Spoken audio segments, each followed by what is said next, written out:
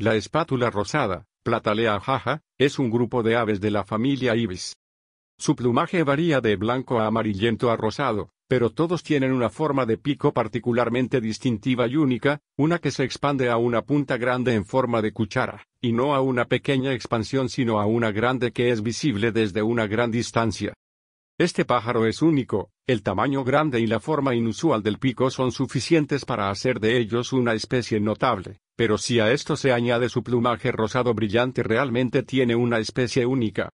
No solo eso, los que estudian a la espátula rosada adulta de cerca también se sorprenden por las complejidades del patrón de la cara desnuda, así como por los toques de color amarillento en el plumaje, y las diferencias tonales exactas del rosa en varias partes del cuerpo.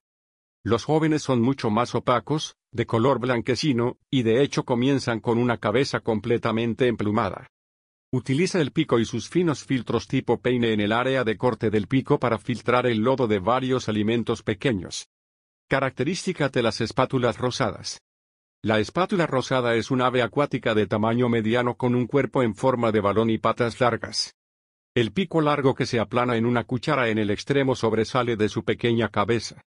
Vuelan con sus largos cuellos extendidos, y a menudo descansan con ellos enroscados en forma de S. Son aves de color rosa pálido con hombros y grupa de color rosa más brillante. Tienen un cuello blanco y una cabeza parcialmente emplumada, de color verde amarillento que hacen destacar sus ojos rojos. Los jóvenes son de color rosa más pálido, y tienen una cabeza completamente emplumada durante tres años hasta que alcanzan el plumaje reproductivo adulto. Comportamiento de las espátulas rosadas. La espátula rosada vadean a través de aguas poco profundas balanceando su cabeza de lado a lado con su pico bajo el agua sintiendo la presa. Tienden a buscar comida con sus cuerpos mantenidos en posición horizontal justo encima del agua con la cabeza colgando hacia abajo. Vuelan con el cuello extendido, sumergiéndose ligeramente por debajo del cuerpo. Las espátulas buscan alimento, se posan y anidan en grupos, a menudo con otras ibis, garzas y garcetas. Hábitat de las espátulas rosadas. Viven en marismas costeras, lagunas, marismas, manglares.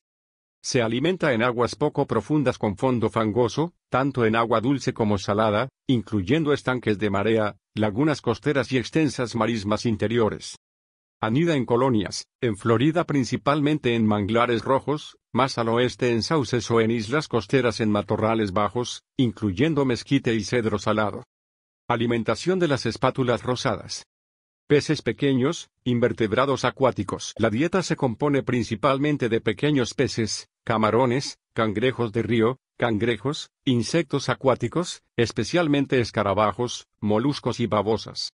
Come algo de material vegetal, incluyendo raíces y tallos de juncias. Reproducción de las espátulas rosadas.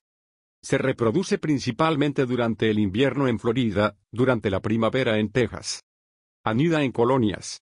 Al comienzo de la temporada de reproducción, es posible que toda la parvada se eleve repentinamente, sin razón aparente, y rodee el área.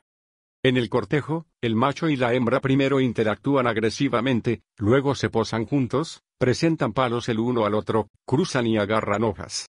El sitio del nido se encuentra en manglares, árboles, arbustos, generalmente entre un metro y medio, y cuatro metros sobre el nivel del suelo o del agua, a veces en el suelo.